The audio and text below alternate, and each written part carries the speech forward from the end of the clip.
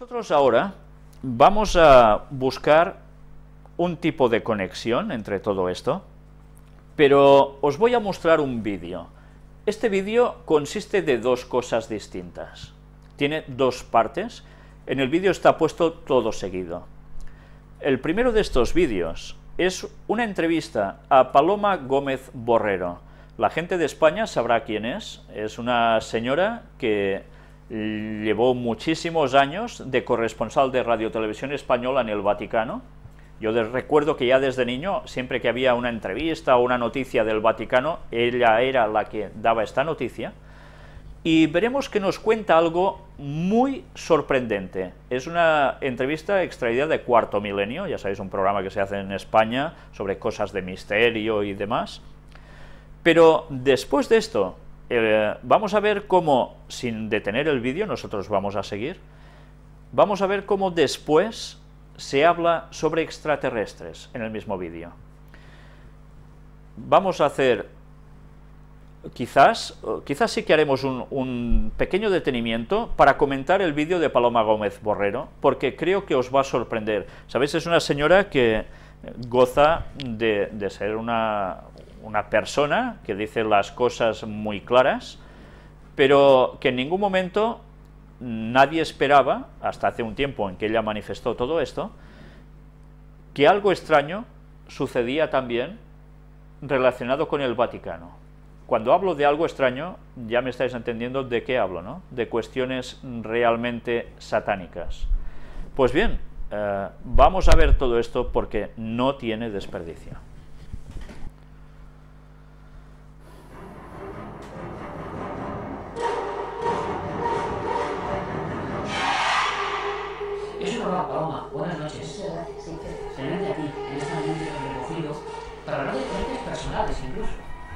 Pues eh, sí, me parece que puedo contarte algo.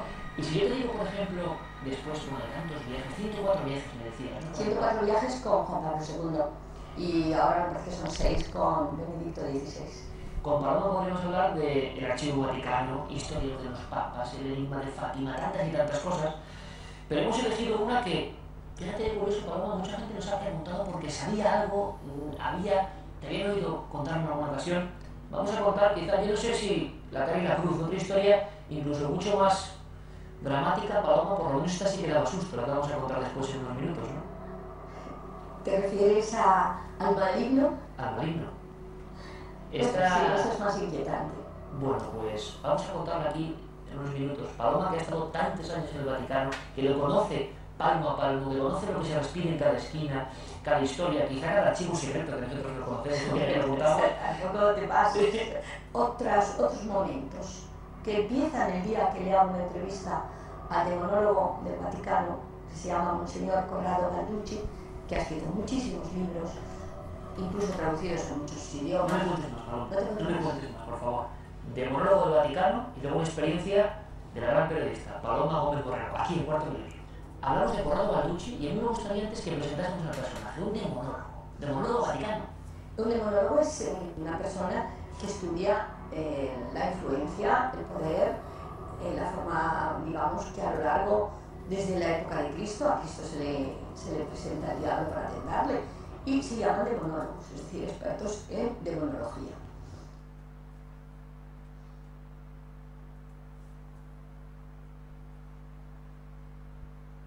Y yo tenía que hacer una entrevista que me pidieron, eh, entonces yo me fui a su casa para hacerle la entrevista, que fue muy larga, dos horas, con lo cual fueron dos cintas de una hora cada una, porque grabé. Mientras él hablaba, yo mmm, tomaba notas para luego saber qué punto de la cinta me interesaba pasarla luego a la radio. ¿Cómo el lugar de la entrevista? Y en su casa. Era su casa. Me imagino llena de libros de demonología. Todos. Y todos los libros que son un poco inquietantes. Claro, Yo recuerdo el fotógrafo, el fotógrafo, porque le he hecho varias entrevistas a, a Museo Carducci y me acuerdo una vez que fui para una revista que me habían pedido y llevé a un fotógrafo y el fotógrafo entró en la biblioteca y a los dos o tres minutos salió porque estaba sintiéndose mal.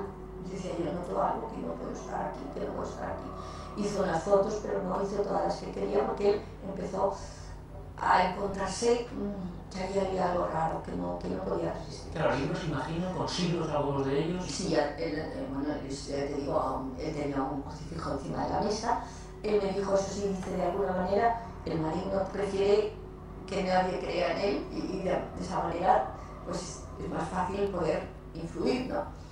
Y me acuerdo que me marché un poco impresionada de todas las cosas que había contado y puse todo en una visita que tengo en el despacho mío, que es donde tengo el trabajo urgente, es decir, de un día a otro así. Dije, bueno, yo mañana me volveré a las dos horas y veré. Era de noche ya, ¿no? Era así, cuando yo dejo esto era tarde, por la tarde. Y pensé, mañana, pero era de noche, las nueve de la noche o así serían, no diez de la noche. Yo estaba en, en mi mesa de despacho, lo otro lo había dejado en esa mesita y la, tengo mi, mi, despacho tiene una ventana grandísimo que da un balcón terraza y luego una librería que cubre completamente toda la pared frente a la mesa, pero completamente. No llega hasta el techo, pero llega de pared a pared. Y cuando estaba, que era noviembre, recuerdo, era primeros de noviembre, tenía la ventana un poco abierta. Y eran, pues sí, serían las nueve y media, de la noche habíamos cenado, cenamos en Italia, cena antes que en España, y, y, y, de repente entra un pájaro. Se ha dicho que sí, un cuervo, porque yo recuerdo solo un pájaro negro que entra y sobrevolando por toda la habitación, va dándose golpes y dejándome todo manchado de sangre. Y llamé a todos los de casa, dije, venid, venid, que hay un pájaro herido, y le curamos, porque yo pensé, este se está desangrando, este pájaro se muere. Y al final, después de darme dejarme, de verdad, como si hubiera hecho un asesino en casa, se queda encima de, de la librería. Buscamos incluso una escalera, porque es, un, digamos que es una librería que tiene como ocho estanterías, o sea, es bastante alta. Y vino mi hijo con la escalera, se subió y, y estaba el pájaro allí colocado encima. Pero cuando lo va a coger, se mete por detrás, tan estrecho que es prácticamente lo que es un zócalo, lo que no apoya en la pared. Y se mete por allí en vertical. Y dijimos, pero bueno, este pájaro está loco, vamos, este pájaro ahí no le podemos sacar. No cabía ni la escoba, porque buscamos la escoba toda, si así le podemos ayudar, ¿no? Nada y nada. Y ya se acabó la historia, le digo a la chica de casa, digo, por favor, mm, Rosario, digo, trae la caña de, del portero, al portero, pide una caña a ver si así puede entrar y, sacamos, digo, porque va a haber un nido de hormigas, va a oler, qué sé yo. Desde luego muerto, pensé que estaría muerto. Nunca, allí no había nada.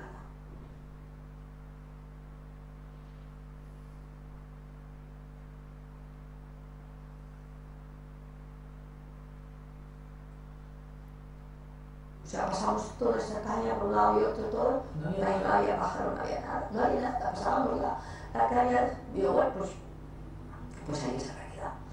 Y entonces me llama, Luis de Longo para quien hice la entrevista, y me dice, Luis, dice, ¿hiciste la entrevista? Me llama, digo, sí, pero mira, me ha pasado de todo, y, pero ahora no te preocupes, que como fue anoche esto, ahora por la mañana yo recojo todo y mañana ya tienes los cortes y toda la entrevista. Bueno, el, voy a coger lo que tengo encima de esa mesita y me encuentro que el magnetofón roto. No estaban las cintas, no estaba el blog de notas y no estaban las fotocopias. Allí no había entrado nada y todo, y el magnetofón roto. Roto, roto un, un gancho extraño, porque no le había tocado nadie. Bueno, porque no había habido nadie, de ahí nos fuimos todos a acostar. Y... claro, es que fue el primer pájaro de un golpe, que ya sería... No, no, posible que se llevan el pico los también en el cuaderno, vamos, no. Y, entonces yo busqué, hasta me, me oí todas las cintas que tenía en archivo, digo, que normalmente todas las cintas tienes el título opuesto de lo que es. Pero yo ya, ya estaba desesperada diciendo, buscando ¿qué, ha pasado aquí. Y entonces eh, fui a la librería vaticana y le dije a don Beleri, eh, digo, ¿tiene usted el libro de, de Monsignor Gallucci, ¿Existe el diablo y cómo identificarlo? hija, ah, tenía una copia, la tenía hasta hace, hace una hora que ha venido un señor y se la compra. Pues siempre que todo esté pasando. Bueno, mm, mandé el artículo y por lo visto todos los números de, esa revista que se mandaron para los, eh, lo que estaban elaborados, no llegó ninguno.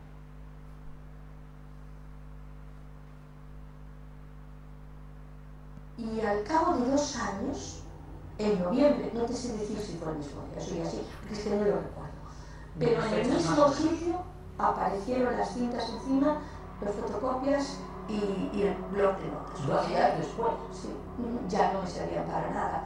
Entonces sí que yo fui a hacer una entrevista a Luchi, como te digo, aquella vez con el fotógrafo, y entonces sí que se lo dije, digo, señor, yo le hubiera llamado porque me pasó esto. Dice, ya le dije a usted que sería difícil, que, que te pondría muchos, muchos obstáculos para que usted pudiera trabajar. Y, y,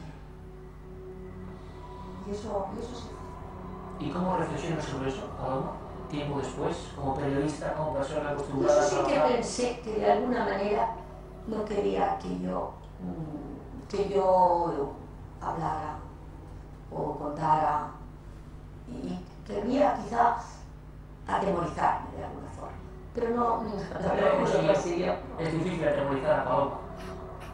Mm, Yo fue una cosa, eh, instintiva que tuve. Fue como una, a ver quién puede más. O sea, yo tuve esa sensación, a ver quién puede más. Y dije, tú conmigo vamos a pelear. ¿Y has vuelto a escribir sobre el diablo? Yo creo que no.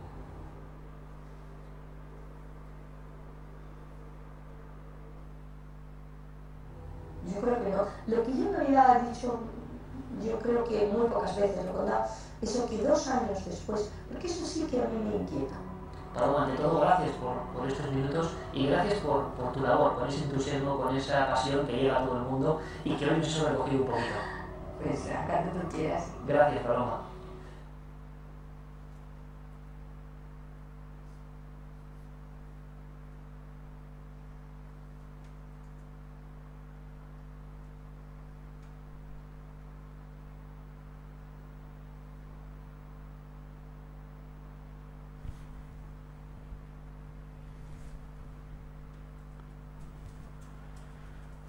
Bien, pues creo que esta entrevista, que ya tiene un tiempo, como veis, ya que ella hablaba en los tiempos aún de Benedicto XVI, nos muestra cómo precisamente lo que está sucediendo en el Vaticano y por parte muy concretamente de la gente que se dedica teóricamente a asuntos demoniólogos, pero que en cambio parece ser que participan más que no ir en contra, dados los resultados, es obvio nos debería hacer pensar y mucho. Eh, Sabéis, este tipo de experiencias que a veces eh, suenan tan extrañas cuando a alguien se le pueden contar, son cosas que van sucediendo.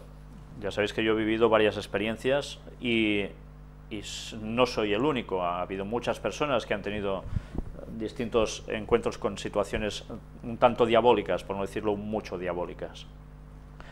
Eh, ¿Por qué os he puesto esta entrevista? Bueno, primero de todo comentaros, habéis visto que aparecían los subtítulos en medio cuando se paraban las imágenes, eran unos comentarios de la persona que ha hecho este vídeo, no, no los he puesto yo. Pero os he puesto estas imágenes para hacer un poco de reca- recapitulización, de darnos cuenta de que cuando hay cosas extrañas que suceden de estos modos tan claros como lo que nos ha explicado Paloma Gómez Borrero, no se trata eh, de cuestiones de extraterrestres, sino que se trata de demonios directamente. Lo que ahora vais a ver en el siguiente vídeo, es la continuación, de hecho, del mismo, nos va a tratar el tema sobre extraterrestres y jesuitas. Y diréis, bueno, ¿y qué tiene que ver una cosa con otra?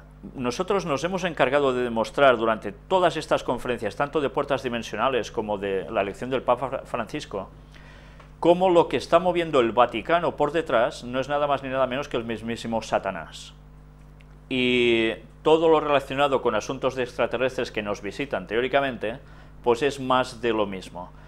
Y que se nos intenta confundir